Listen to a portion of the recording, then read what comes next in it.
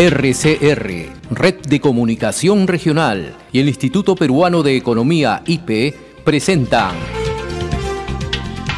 el microprograma Hablemos de Economía.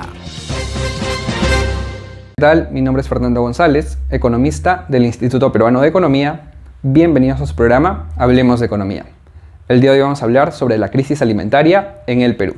El Perú enfrenta una crisis alimentaria en medio de una economía que no crece. Aunque la inflación está disminuyendo, esto no es suficiente para aliviar el bolsillo de las familias. Se requiere reactivar la inversión privada y un mayor crecimiento económico para crear más empleos y elevar los ingresos de la población.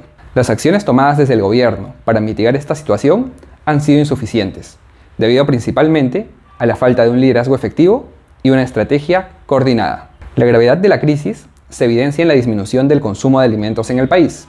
En la primera mitad del 2023, más de 2 millones de peruanos redujeron su consumo de alimentos ante la pérdida de ingresos por enfermedades, desempleo o desastres naturales. Esto representa a 6 de cada 100 peruanos y es la cifra más alta en 16 años, sin considerar la pandemia, lo cual refleja el incremento de la pobreza extrema y la gravedad de la crisis alimentaria.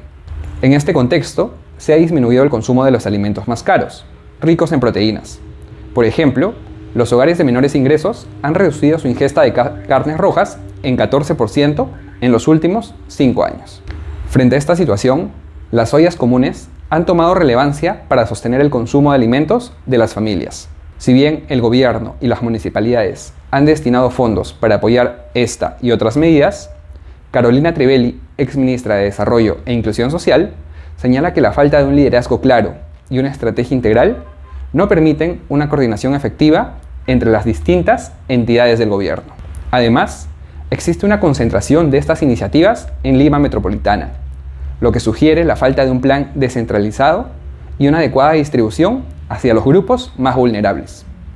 Por ejemplo, estimaciones preliminares del IPE sugieren que más del 25% de los 200.000 hogares atendidos por los comedores populares en el 2022 no son pobres ni vulnerables.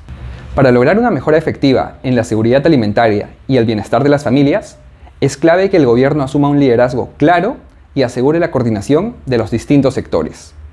Además, existe una oportunidad de colaboración entre el sector público y privado para garantizar una nutrición adecuada para las poblaciones más vulnerables. Esto fue Hablemos de Economía.